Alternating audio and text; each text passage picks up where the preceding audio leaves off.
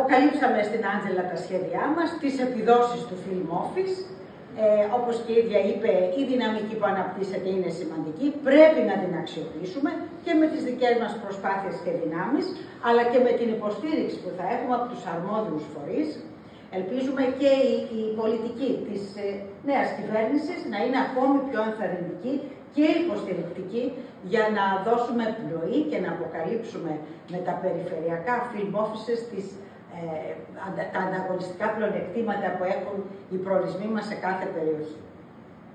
Έτσι λοιπόν και εμείς θέλω να σας πω ότι δεν μείναμε μόνο στο να συγκροτήσουμε με όλα τα απαραίτητα στοιχεία και ε, προβολές την, ε, το Film Office της περιφέρειάς μας,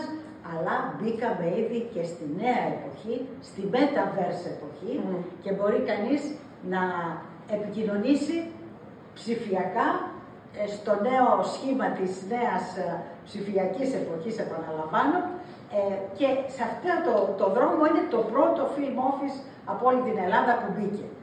Με, τη, με, με, όραμα, με μεγάλη θέρμη και με πίστη στις δυνατότητες που μπορεί να έχει ένα τέτοιο εγχείρημα, φτάσαμε σε αυτό το καλό αποτέλεσμα και χαίρομαι που θα έχουμε, Άντζελα, και τη δική σου συμπαράσταση για να του δώσουμε πραγματικά φτερά για να αναδείξει τον τόπο μας ακόμη περισσότερο.